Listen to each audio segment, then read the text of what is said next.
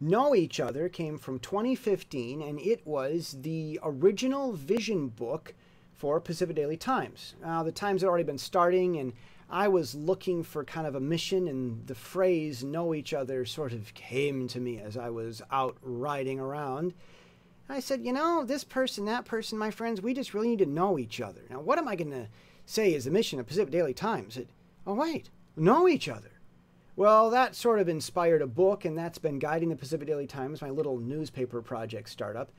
And I also talk about where information's headed. We need to have big, reputable news outlets, especially these days, the, the reputable part. But we're always going to have a need for info hubs, and there's always a growing need for just contributors from everybody, lay contributors who need to learn how to do a good job. This book could give you some perspective with that. We need style guides. But also, there's some stuff coming in the future.